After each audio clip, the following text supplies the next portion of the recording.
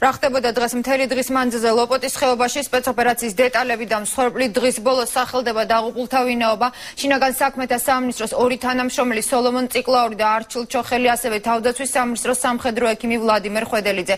დაჭრილია ხუთი ადამიანი რაც შეეხება საქართველოს ტერიტორიაზე მყოფ შეარაღებულ დაჯგუფებას. ოფიციალური ინფორმაციით ლიკვიდირებულია 11 ხოლო ალყაში იმყოფება დაჯგუფების 6 წევრი. ხელისუფლების წარმომადგენლებმა უკვე გააკეთეს განცხადება რომ ისინი ჩრდილო კავკასიელები არიან თუმცა როგორ მოხდა მათი იდენტიფიკაცია იდენტიფიცირება არავინ იცის.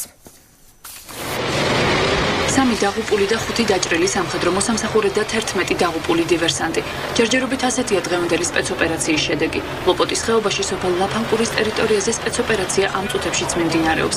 შინაგან საქმეთა სამინისტროს ინფორმაციით 6 დივერსანტი ამ დრომდე ალყაში რჩება. სამწუხაროდ სპეცოპერაციის მიმდინარეობის დროს დაიღუპა შინაგან საქმეთა სამინისტროს ორი სპეცრაზმის თანამშრომელი, თავდაცვის სამინისტროს ერთი თანამშრომელი, სპეცრაზმის ექიმი.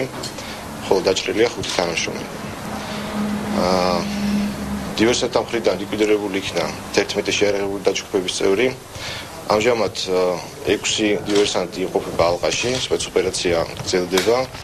დაჭრილი სამხედროების სხვადასხვა საავადმყოფოში გადაანაწილეს. მათგან ერთ-ერთი თბილისში ხუდუშაურის სახელობის კლინიკაში გადმოიყვანეს. ის დღესვე ჯანდაცვის მინისტრმა მოინახულა. ზურაბ ჭიაბერაშვილის განცხადებით დაჭრილი სიცოცხლის საფრთხე არ ემუქრება.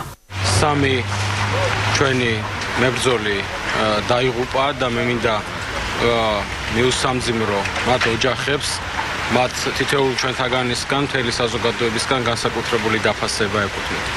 რაც შეეხება ხუთ დაჭრილს ისინი სხვადასხვა კლინიკებშია გადაყვანილი. შემოსვლის დროს აღინიშნებოდა ქვედა კიდურის, კერძოდ წვივის მიდამოს ღია ტრამული დაზიანება. გაუკეთა შესაბამისი გამოკვლევები და საჭირო გახდა მისი ოპერაციული მკურნალობა. სპეცოპერაციის შესახებ განცხადება ფოთში მყოფმა პარლამენტის სამშობლოებმაც გააკეთა. ჩვენი სახელმწიფო ბოლო 8 წლის განმავლობაში ჩამოყალიბდა როგორც ქვეყანა. ჩამოყალიბდა როგორც ქვეყანა, რომელიც იცავს და ყოველთვის დაიცავს საკუთარი მოსახლეობის უსაფრთხოებას და საკუთარი მოსახლეობის უფლებებს. ამიტომ, რაც არ უნდა მოხდეს, ჩვენი მოსახლეობა უნდა იყოს მშვიდად. დღის განმავლობაში შინაგან საქმეთა და თავდაცვის სამინისტროების მიერ იდენტური ინფორმაცია თითქმის ერთდროულად ვრცელდებოდა.